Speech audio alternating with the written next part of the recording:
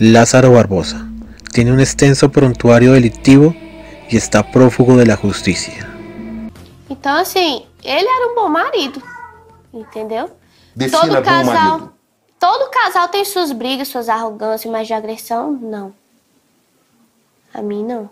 Você nunca notou nenhum tipo de agressividade por parte dele? Não, só arrogância mesmo. Às vezes era arrogante, né?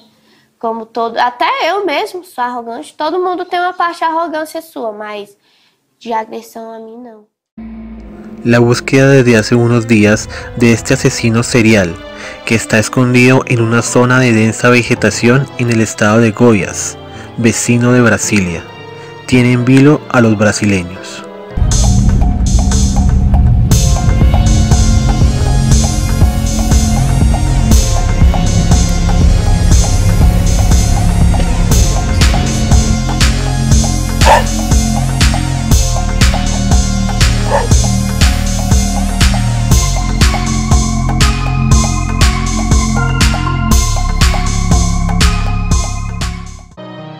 El presidente Bolsonaro aseguró que el delincuente será arrestado en breve, en el marco de un operativo para hallarlo que involucra a más de 200 policías de Goiás y Brasilia, a los que se sumaron agentes federales de la Fuerza Nacional de Seguridad Pública y de la Policía Caminera. Lázaro llevó el terror al entorno de Brasilia. Sabemos que este bandido sabe andar por la mata sin dejar rastros pero nuestros policías son tenaces y no descansarán hasta cumplir esa misión, afirmó el mandatario, quien le deseó una buena suerte a los oficiales y sostuvo en un video difundido en las redes sociales, estoy seguro de que en breve Lázaro va a estar por lo menos detrás de las rejas.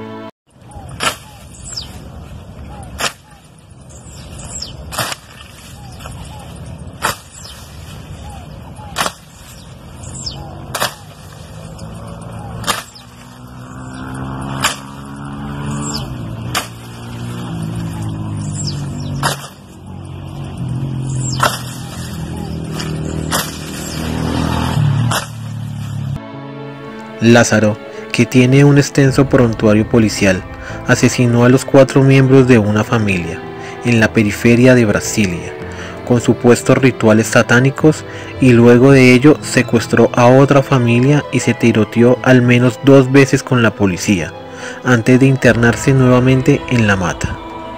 As vítimas estão bem. Estão bem. Três vítimas.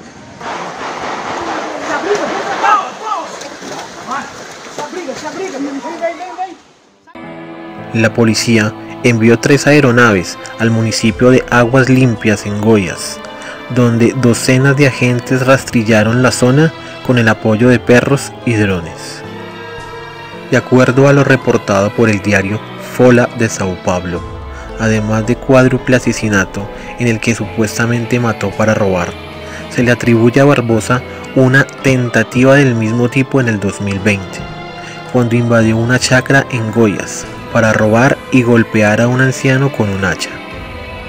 El fugitivo, dice el periódico Paulista, tiene doble condena por homicidio en Bahía y también se lo considera prófugo de la justicia por delitos de violación, robo a mano armada y porte ilegal de arma de fuego. Una acusación por lo que fue a prisión en el 2013 en Brasilia.